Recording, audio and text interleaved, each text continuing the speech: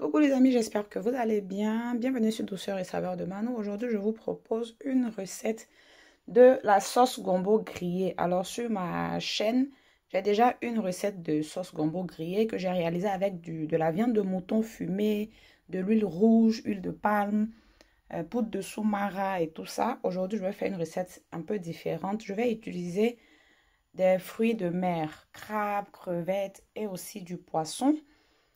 J'ai aussi une recette sur ma chaîne de comment nettoyer les crabes. Si vous êtes intéressé, je laisserai le lien. Alors pour les légumes, bien sûr, j'aurai besoin de gombo et j'aurai aussi besoin de poivrons, tomates fraîches, piments, euh, oignons, feuilles d'oignon et ail. Sel et assaisonnement au choix.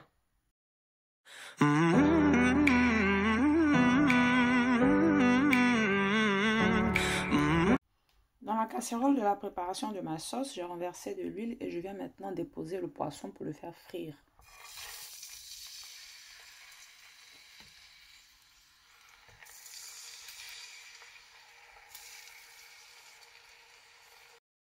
Pendant que mon poisson est en train de frire, je viens m'occuper des légumes. Je les ai divisés en deux. La moitié du poivron est toujours là, ainsi que la moitié de l'oignon, un piment et les feuilles d'oignon, je, je, ne vais pas les utiliser maintenant. Ce que je vais utiliser maintenant, c'est la tomate, la moitié de l'oignon, le piment et l'ail. Je vais tout mettre dans un mixeur et broyer. Ail, oignon, tomate, poivron et piment.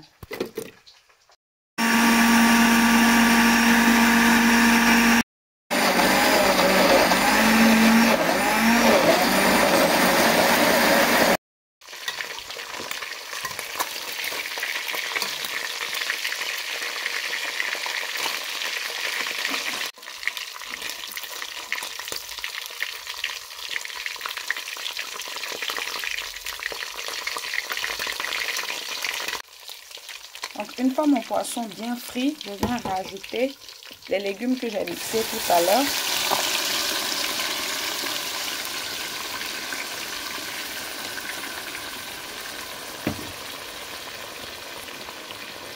Je viens aussi rajouter des crabes.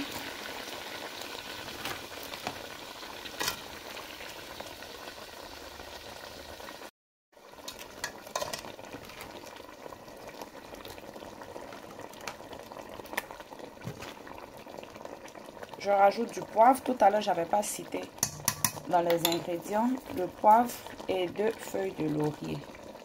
Je vais aussi assaisonner avec du sel. Je vais recouvrir ma casserole pour laisser le tout cuire. Donc, avant de refermer ma casserole, j'ai renversé de l'eau dans le fond de mon mixeur. C'est un peu plus de la moitié d'une tasse d'eau. C'est-à-dire, j'ai pris un verre, je l'ai rempli euh, un peu plus de la moitié.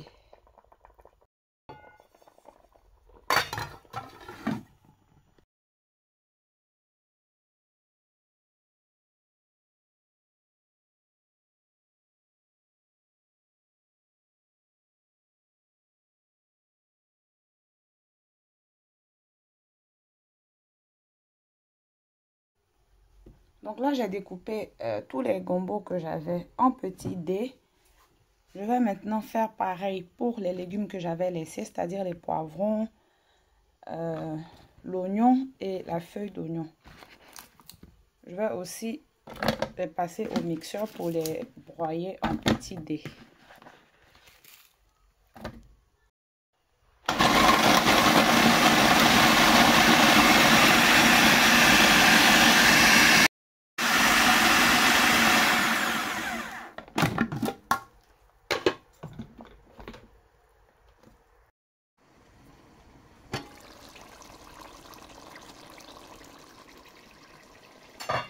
Donc ça va faire euh, au moins 40 minutes que ma sauce est au feu.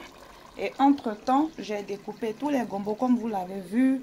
J'ai aussi découpé euh, les légumes que j'avais laissés. J'ai nettoyé les crevettes. C'est le moment d'assaisonner la sauce. À cette étape-là, vous l'assaisonnez euh, avec ce que vous avez. Bouillon fait maison, sel. Ensuite, je viens rajouter les crevettes à ma sauce.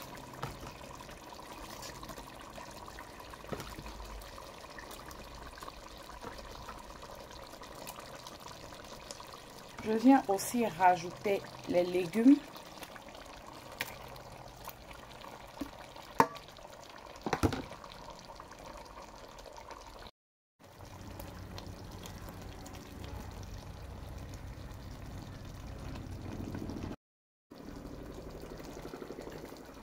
Et pour finir le combo,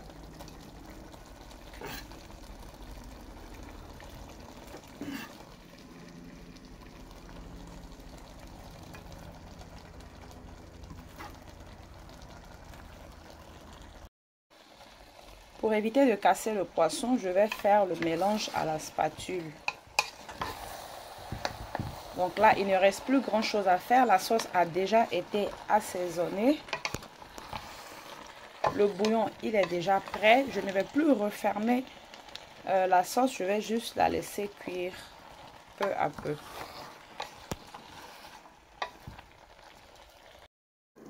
Donc vous allez constater que votre sauce est prête une fois que l'huile va ressortir sur le dessus et que la couleur du gombo va changer. Il ne sera plus très très vert mais il va tirer un peu sur le marron. Donc la sauce est maintenant prête à être servie.